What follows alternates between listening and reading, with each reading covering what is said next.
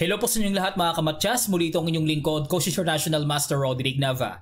Ngayon naman ay papasadahan natin ang uh, bawat best game na nangyari sa match. Kagabi, day 2 ng quarterfinals dito pa rin sa Magnus Carlsen Invitational 4th leg na ginaganap sa chess24.com.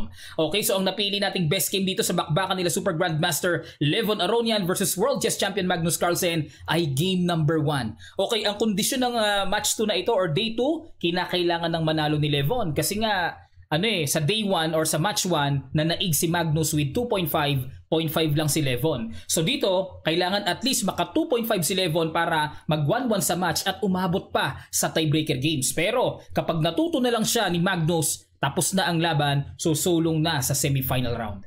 Okay, so ito inilive natin kagabi, pero sa mga hindi pa nakakapanood, ito po, mas detalyado ito. At sa mga nakapanood na, mas detalyado itong analysis na ito.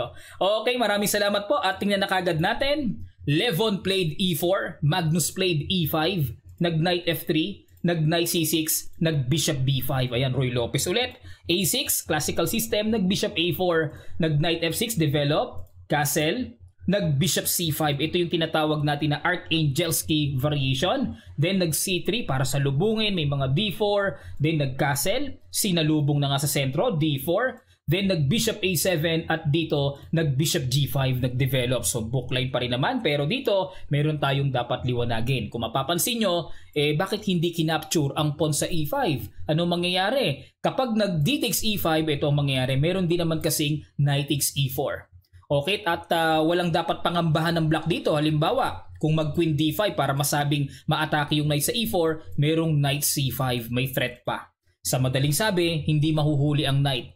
So, mukhang masarap lang atakihin pero mananakbo lang yan ng mabilis. Kaya dito, mas long term ang perspektibong tinignan dito ni Levon, nag bishop g5 na lang siya, develop, nag e takes d4 at dito nag e5 aggressive na ang pinasok ni Levon, inatake ang knight, obligadong uh, in-neutralize ang nagpipin. At dito umatras, bishop h4, hinabol, obligado pa rin yan.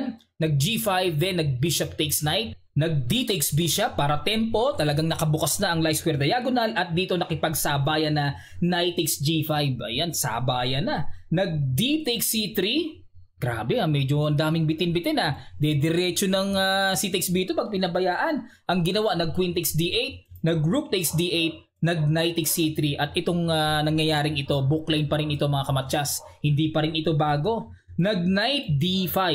Ano ang mangyayari kung capturein muna ni Magnus ito? Itong uh, knight sa g5, meron kasing bishop takes g5. Hindi pa rin makaalis ang knight kasi nga ayun oh, nakaturo pa rin sa rook sa d8, nakapin. Sa madaling sabi, babagsak pa rin ng knight sa f6 mabibitawan. Kaya dito, minabuti na lang ni Magnus, mag knight d5, at least may pangyayari pa, nag knight ge4, Ayun, nagkaroon ng discovered attack sa Torre, nag knight takes c3, nakipagsabayan talaga. Ang ginawa, nag b takes c3. May tanong tayo, bakit hindi kinapture ni Lebon ang Torre sa d8? Meron kasing knight takes e4. Lalabas, bishop sa bishop, rook sa rook, and then knight and bishop sa Torre. Two minor pieces ang kapalit. So medyo, syempre, decisive advantage ang black. Lugi ang puti sa exchange. Kaya dito, nag B takes C3 si Levon, then nag Rook D3, pumasok. Para talagang may pang-pressure kagad. And then ang idea, marahil mag Bishop F5, papaalisin ang knight na sumusuporta sa weak pawn sa C3. Ang ginawa, nag Rook A D1, sinalubong na, nag Rook takes D1, nag Rook takes D1, then nag-develop Bishop E6, Nag A3 iniwas kasi nga ay naka-threat pa at dito pa lang nakita ang bagong tira, nag F5 si Magnus. Okay, na bago ang kasaysayan ng linyang ito. Kasi dito, ang palagi ang ginagawa ay King H7. Ipopost ko na lang ang link niyan sa description below. Pero dito nag F5 lang si Magnus at talagang pina-empasan capture niya lang. Malalim. Tapos, sabay na Rook E8. Yan ang medyo, dito napatanong ako nung live kagabi na nasaksihan natin. Grabe yung F5 oh, pinakapture lang and pasan sabay Rook E8.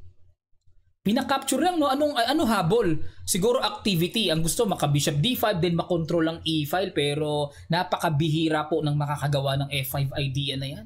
Grabe yung f5 napahanga ako. Ang ginawa dito nag h3 para kahit papaano ready na walang masyadong back rank pero alanganin daw yung H3 na yan. Mas mainam daw dito ay King H1. Yun nga lang, sino makaka-realize niyan? Tingnan nyo ang idea. Bishop B3, atake, nagkaroon ng discovered attack sa knight, ang gagawin Rook E1, Bishop C5, threat sa pawn sa A3, ang gagawin dito F3 para masuportahan na ang knight at malaya nang makaalis ang rook sa E1 kasi nakapin nga. And then walang pin. Yun ang idea ng prophylactic move King H1 para maka F3, para kay knight. At kapag dito nag bishop takes a3, may rook b1, bishop d5, rook takes b7, bishop takes knight, f takes e4, rook takes e4, then g3, suporta, pasingaw sa back rank, bishop d6 suporta sa pawn, and then king g2 equal ang ibinigay na evaluation. Okay? So ang mainam daw na tira ay king h1 yun nga lang pang long game man ito mga kamatsas. Hindi naabot ni Levon, nag h3 siya, nag bishop b3 good move, And then dito, napa F7 na lang si Levon. Bakit? Ano mangyayari? Kasi kung magro-rook E1, goodbye knight ang mangyayari mga kamatsas. Pag bishop D5, ano ang gagawing solusyon para mailigtas ang knight na yan? Wala na. Kasi walang F3 na kapin. Walang pupuntahan ng knight na kabitin ang torre sa E1. Sa madaling sabi, babagsak talaga. Okay, kung mag C4 naman, eh pwedeng mag rook takes E4 na lang, makikipagsabayan, lamang pa rin ng isang pyesa ang black. Kaya dito, nag F7 na lang, nag king takes F7. Syempre dito, wag naman bishop takes F7. Pag yan kasi mayroong knight F6. Pasensya na po sa ingay mga kamatsas ha, may ginagawa kasi sa kabilang bahay. Grabe. Yun ang kalaban ko rito, yung mga ingay pagka ano, hindi inaasahan eh.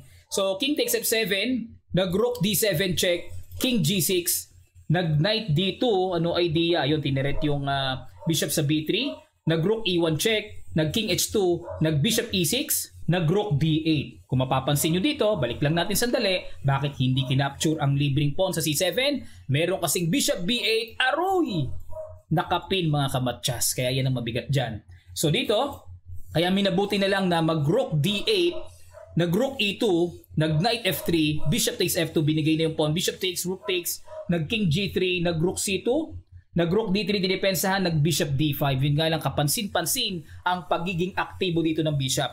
Naalala ko yung librong nabasa ko sa endgame manual ni Grandmaster uh, Mark Dvoretsky. Talagang napakaganda noon. Usually pag bishop versus knight, kapag aktibo ang bishop, lamang sa latag ng position ang may bishop na ganyang kaaktibo. So nag-king F4, uh, nag-king F6. So dito, maaring mapatanong kayo, eh bakit hindi kinapture ang pawn sa G2? Meron kasing knight H4. Mafo-fort, babagsak.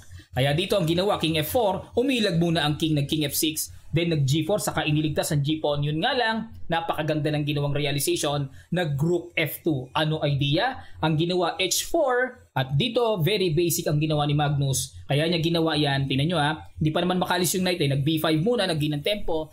Pag king G3, sa copy nagsasabay ng capture. Nakatempo na siya ng B5. Nag C5, king E4, nag C6 para walang king D5, nag king F4, nag A5. Yung palang ganyang latag ng position ni eh, Endwines na pala ito. Tingnan nyo, winning no?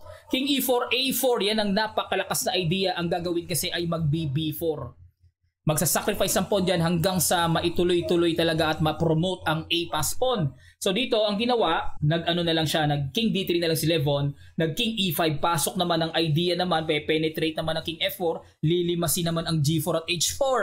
Napakatindi ng idea ni uh, Magnus dito sa endgame. Nag-B4, good move. Nag-king D2 at last shot, B3, and wines na paresign na dito si Levon. Kasi meron ng stable advantage dito si Magnus, hindi na maiiwanan ng king, kinakailangan nandyan na lang siya sa iskwalang square na yan at wag lalabas sa rule of square na yan samantalang ang blocking naman ay malayang makakapamalengke lilimasin ng G4, lilimasin ang H4. So dito, nag-resign na si Levon. 0-1 mga kamatchas. Okay, so sa game number 2, tabla, game number 3, tabla. So ang score ay 2 points. So 2 lalabas to 1. Okay, so eh 2 points lang ang habol dito sa day 2 match ni uh, Magnus eh. Nanalo si Magnus at siya ang karapat-dapat ngayon sa semi-final round talagang si Magnus. Hindi talaga ano, nawawala. Andyan pa rin talaga. Okay, so i-analyze naman natin ang best game na nangyari between uh, Super Grandmaster Wesley So versus uh, Super Grandmaster Alireza Ferrugia. Yan po ang inyong abangan. Isusunod ka agad natin. Maraming salamat muli sa inyong matigang panonood. Sana natuto kayo sa game na ito. At kung kayo ay natuto, please like the video. At sa mga hindi pa nakakapag-subscribe, subscribe na kayo at click yung notification bell na all para lahat ng ating mga bagong videos ay ma-update ka agad kayo. Kung kayo ay mayroong mga suggestions at comments dito sa video na ito, paki-comment nyo na lang po sa section below. Muli itong inyong lingkod, Coach is your National Master Roderick Nava. God willing ay magkita-kita pa tayo sa mga susunod pang videos.